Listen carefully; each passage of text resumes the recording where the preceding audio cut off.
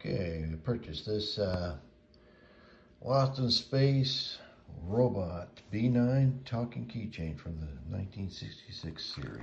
And uh, came in the bubble pack. I gave uh, $20 for it, plus shipping. And uh, I think it was like $4 shipping. So anyway, we're gonna unpackage this thing and uh, take a look at it. Well, the batteries were corroded in that, so took them out and put some fresh ones in. And uh, there's, you have to unscrew that little Phillips screw there, get it off. So, we'll all right. So here's here's what he does.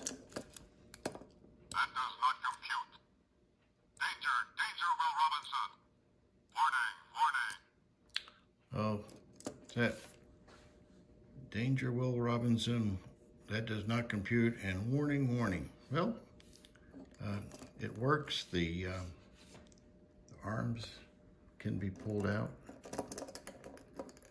So like so. And you can move them around and there he is.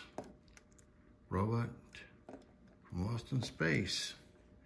Not a bad purchase for $20. Just, uh, you'll need a, a little uh, nail file to get the door, help get the door open.